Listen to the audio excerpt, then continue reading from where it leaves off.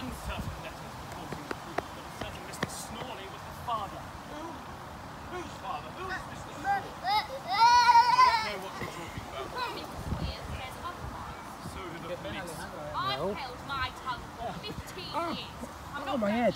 ruin anyone else's life as you bring oh.